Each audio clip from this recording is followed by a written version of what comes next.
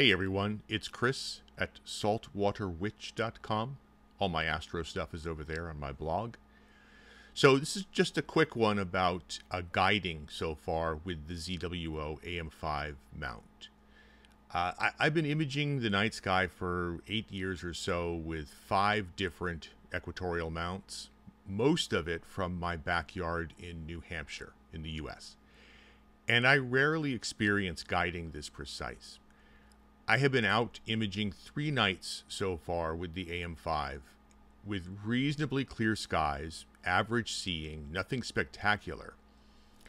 And with that, these are still some of the most some of the lowest total RMS error numbers I've seen from my Bortle 4 to 5 backyard, depending on how clear things are.